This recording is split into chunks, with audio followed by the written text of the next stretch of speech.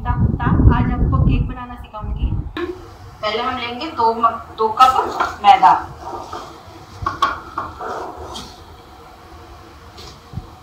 फिर हम इसमें डालेंगे एक चम, एक से सवा चम्मच करीब बेकिंग पाउडर। एक चम्मच थ्री फोर चम्मच सोडा।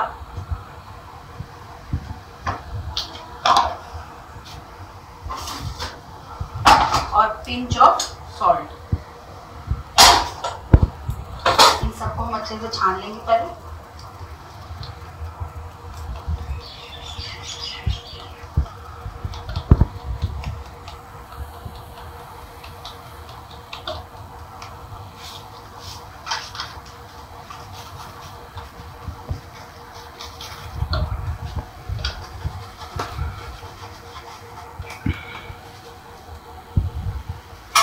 फिर एक हम एक इसमें लेंगे वन फोर्थ कप मैदा, वो ऑयल एंड बटर मिक्स करके।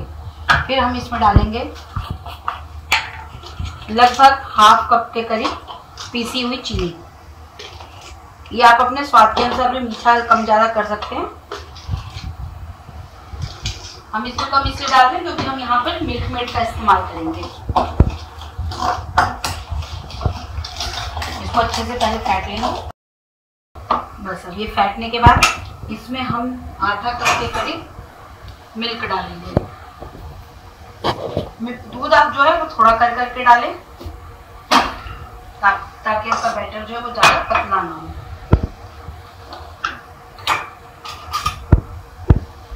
अब हम थोड़ा थोड़ा इसमें करके बैटर ही। है जो ड्राई इंग्रेडिएंट्स थे उनको डालेंगे। एक साथ नहीं डालना, उसको दो तीन बार करके मिक्स करना। इसलिए कि लम्स ना पड़े उसमें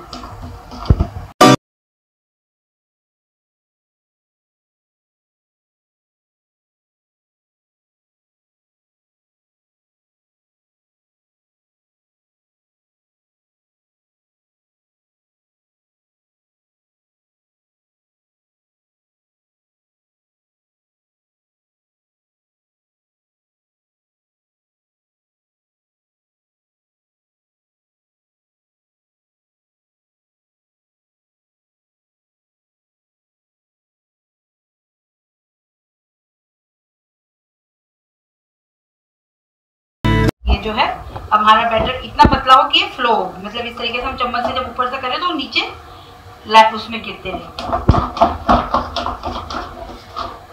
बस ये हमारा केक का बैटर तैयार हो गया। अब इसमें लास्ट में हम डालेंगे तो लेमन जूस एक या लगभग एक चम्मच के करीब विनेगर डाल देंगे।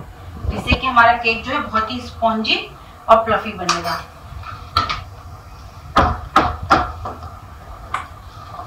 ये देखिए इसको विनेगर मिलाते ही। हमारा कितना सॉफ्ट हो गया।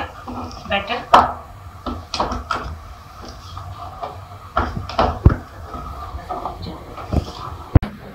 अब हम एक कढ़ाई लेंगे। उसमें थोड़ा सा नमक, जो हमारा नॉर्मल सॉल्ट होता है, ये मेरा थोड़ा ब्राउन सॉल्ट इसलिए दिख रहा है क्योंकि मैंने इसको रीयूज किया हुआ है। अब इसके ऊपर हम एक रख के इसे ढक देंगे। मीडियम आँच में लगभग 10 मिनट के लिए। जैसे हम ओवन को प्री हीट करते हैं ऐसे इसे प्री हीट करेंगे। उसके बाद जो हमारा बैटर है, उसे हम अपने इसमें केक टीन में, जो हमने पहले से ग्रीस करके रख रखा है, उसमें डालेंगे।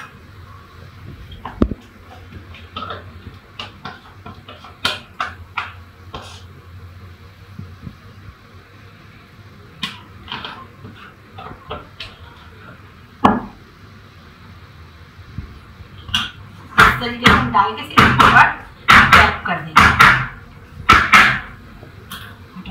मिनट के बाद हम इसे एक बार चेक कर लेंगे। नहीं होगा तो फिर टेन मिनट और पका के चेक कर लेंगे। अब ये देखते हैं, हमारा केक बन गया है। अब हम इसे चेक करते हैं। इस तरीके से देखेंगे। देखो, हमारी नाइफ बिल्कुल साफ़ है, यानी हमारा केक बन के तैयार हो गया। अब हम गैस को स्विच ऑफ़ कर देंगे और इसे थोड़ा देर निकाल के बाहर ठंडा करने रख देंगे इस तरीके से। फिर 10 मिनट बाद इसे डीमोल्ड करेंगे। डीमोल्ड करेंगे। बटर पेपर है, इसे हम हटा देंगे।